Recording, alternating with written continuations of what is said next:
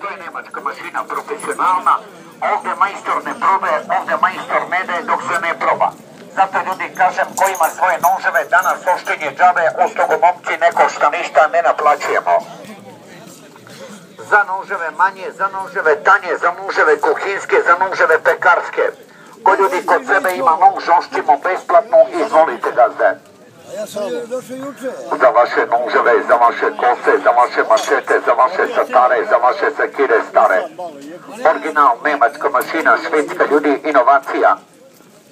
E, to je to. Oštri, reže i brije. Idemo gazde, ko ima nož kod sebe, danas oštimo džabe ljudi. Besplatno ljudi ne košta ništa. Kaži. Evo ti deda piše, vidiš ovako, desno, makaza, evo je nacrtano.